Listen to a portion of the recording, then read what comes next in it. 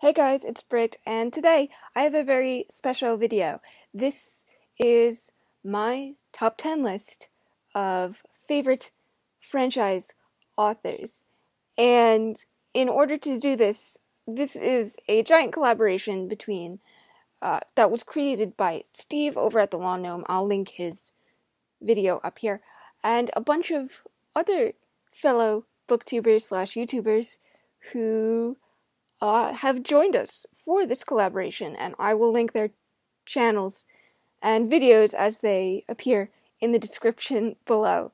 But my top 10 is uh, was hard to narrow down be and is mostly based off of nostalgia and kind of why I am the reader I am today. So while a lot of these authors are not technically what you would call quote unquote good, uh, they are authors who are very near and dear to my heart. Of course, there are exceptions, but um, without further ado, here's my top 10 list. And starting off at number one, we, of course, have have Maggie Stiefvater. I put my book down and now I don't remember where I put it. But Maggie Stiefvater, of course, if you have followed this channel for any length of time, and this is just my Kindle e-reader, uh, it's not the cover, but uh, this is how I read most of my books. So Maggie Stiefvater is a an author who is very near and dear to my heart, and she wrote my favorite series of all time, The Raven Cycle, and I love that series. I love it so much, and that's why it's number one. The next book will also come as no surprise, or author, I should say. And that is Mr. George R. R. Martin, of course. He created the A Song of Ice and Fire series, and the first book in the series is A Game of Thrones, which inspired the HBO television spin off of the Song of Ice and Fire series. Okay. Number three is Alex Garland, and he is very well known for his 28 Days Later um, franchise. He also wrote the screenplay for Ex Machina, but that is not why he's on this video. I picked Alex Garland because The Beach by Alex Garland is one of my favorite books of all time.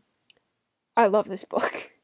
I love this book so much. I wish I had this cover in hardcover. This is the UK edition, but um, it's only available in mass market paperback in this cover. But it's a retelling of Lord of the Flies with stoners and it's it's wonderful and I love it and Alex Garland has never disappointed me when I read his books. He also has Tesseract and Coma, which is um, Tesseract is kind of hard to summarize, but the Coma is about a man named Carl who is in a coma and he wakes up and he's still not sure if he's in a coma or not. And it's a great book.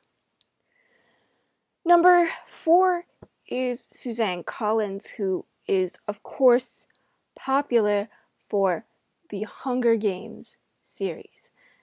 And it's a very popular YA series about uh, a girl named Katniss Everdeen who is forced to participate in an event called the Hunger Games. And basically, they take children and uh, young teenagers and throw them into a pit, and they have to kill each other for uh, the entertainment of other people, and it's really messed up. But that's that that was one of the series that came out while I was in high school, and uh, it really got me back into reading.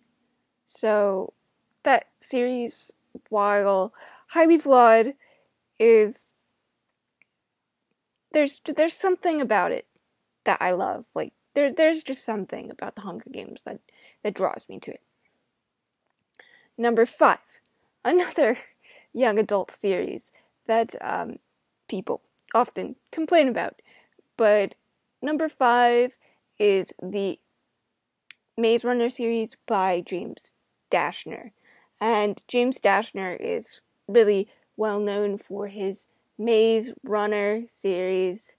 Uh, he's written a few others, but I haven't read them as of yet. I have plans to read them, but uh, James Dashner is the reason I'm here on BookTube today. And um, he, he got me back into reading when I fell in love with The Maze Runner. And uh, the, during my early college years, I didn't read. So that book is the reason, that series is the entire reason why I'm on here today. So even if you don't like The Maze Runner, uh, thank Mr. Dashner because I wouldn't have a channel if it wasn't for him. So, uh, number six, I will attempt to do this in an American accent, and if I can't, I apologize. I'll do it both ways.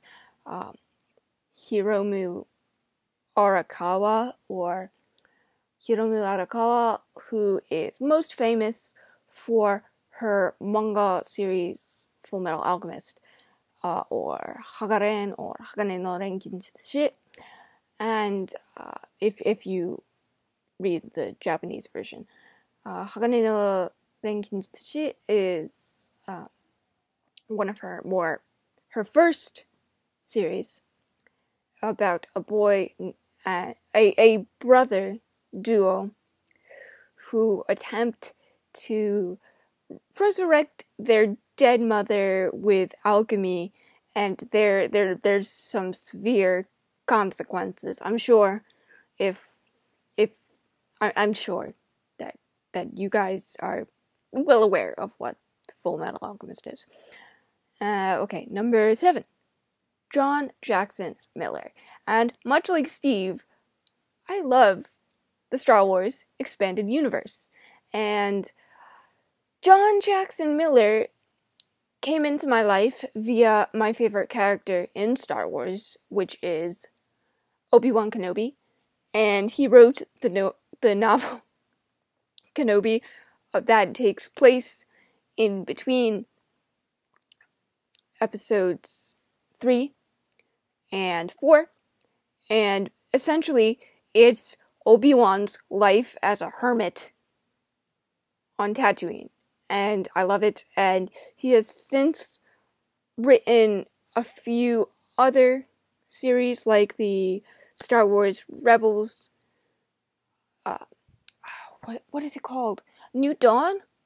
I think it's called the one featuring Hera and Kanan from Star Wars Rebels, kind of like their origin story, and it was really really fun. Number eight is an author that is relatively new to me, but I have to thank Sam over at Sam's Nonsense for introducing me to this author, and it is Robin Hobb. I have fallen in love with Robin Hobb. I am currently reading the Farseer trilogy, and I love it. And I just, I am very attached to Fitz and this world, and I cannot wait to, uh, to continue reading all of her work because apparently I have to in order to read like the the the last book, the most recent book that she has written. So I am so excited. Number 9 is Neil Gaiman and I had complicated feelings when it comes to Mr. Gaiman because uh, Neil Neil is kind of I I enjoy Neil's stories. I do. I enjoy his characters. I enjoy their plots. But I also acknowledge that he's technically not the best writer, but uh, one of my favorite books by him is The Graveyard Book, which is a retelling of The Jungle Book, and it's about a boy named Nobody Owens, and he is raised by ghosts and and a vampire and and a werewolf and it's just it's wonderful and I love it. I also really love the ocean at the end of the lane and every October for the past like 4 or 5 years I always always always have to read Coraline. Like it is a must. So of course I had to include Neil on this list. And finally, number 10, which is Carolyn Keene, who is most famous for her Nancy Drew slash Hardy Boys series.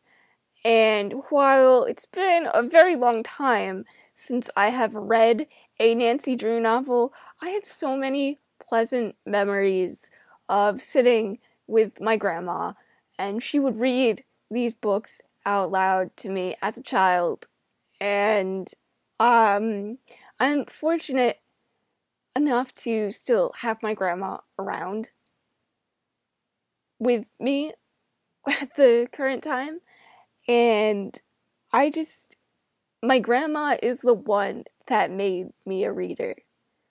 And I have so much love for the Nancy Drew series because I have so many pleasant memories of just listening to my grandmother read these books out loud.